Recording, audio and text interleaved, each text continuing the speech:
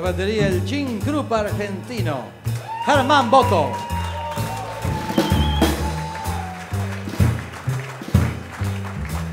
En el contrabajo el Ray Brown, argentino, Damián Falcón.